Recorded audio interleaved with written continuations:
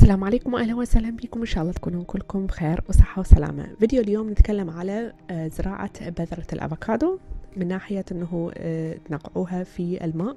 الطريقة سهلة وسريعة في الفيديوهات الماضية. تكلمت على طرق أخرى ك يعني حفظ البذرة في داخل كيس مبلل لمدة تقريبا أكثر شيء ست أسابيع لحد ما يطلع الجذور وبعدين تزرعوها بعد هاي الفترة.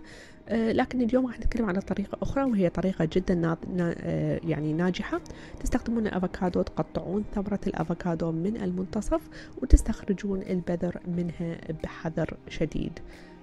تغسلون البذر جيدا تحت الماء الفائتر وتحرصون من عدم استخدام أي نوع من الصابون. من المهم أيضا إنه آه، تحذرون يعني إنه ما تزيلون غطاء البذر اللي لونه بني فاتح. طبعا أكو ناس يزيلون هذا الغطاء البني الفاتح لكن عموما أثبت إنه لما يزيلون الغطاء البني الفاتح من على الافوكادو بذرة الافوكادو بعد غسلها هذا الشيء ممكن يدمر النوى وممكن يأثر على نموها. فجربوا بالحالتين. آه بعدين تغرسون أعواد الأسنان داخل النواة وتكون هذا الشيء من خلال ما تمسكون الجزء المدبب من النواة وتوجهوه للأعلى.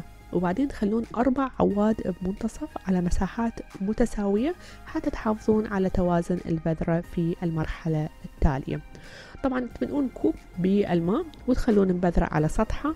العواد راح تمسك آه، البذرة وتمنع البذرة إنه تنزل كلها بالمي وتكون السطح المدبب للأعلى وتحرصون إنه تكون البذرة مغمرة للغاية تقريبا 2.5 سنتيمتر. تخلون الكوب مكان معتدل المناخ جيد الإضاءة. تنتظرون لحد ما تبدي عملية النمو.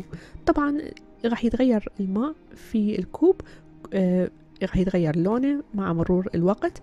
آه من أهم الأشياء لازم تسووها هو أنه تغيرون الماء اللي موجود في الكوب كل يوم أو يومين حتى تتخلصون من أي نوع من العفن أو البكتيريا اللي ممكن أنه تعيق عملية تبرعم البذرة وممكن أنه آه، يعني تسبب مشاكل أخرى.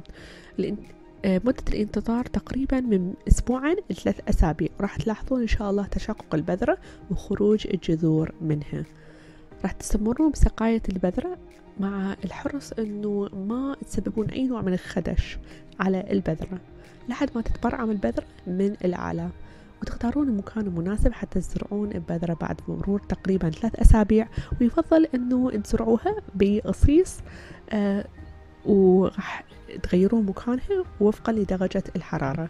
وتتجنبون أيضا آه أنه تخلوها مكان جدا حار أو مكان جدا بارد.